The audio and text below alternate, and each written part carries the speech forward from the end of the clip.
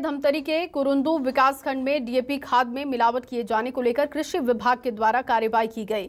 DAP खाद में soil conditioner मिलाने को लेकर ये कार्रवाई हुई है। बताया जा रहा है कि परखंदा गाँव में सॉइल कंडीशनर की 550 बोरियों का स्टॉक भी मिला। सूचना मिलते ही एसडीओ ने आरोपी शोभाराम निर्मल करके घर पर दबिश देकर कार्रवाई की है और बोरियों को सील बंद कर दिया गया है। ये तस्वीरें भी आपको दिखा रहे हैं। कृषि विभाग की बड़ी कार्रवाई सामने आई है। अलर्ट मोड पर इस वक्त कृषि विभाग दिखाई दे रहा है।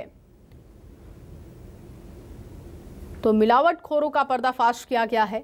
एक बड़ी कार्रवाई कृषि विभाग की तरफ़ से।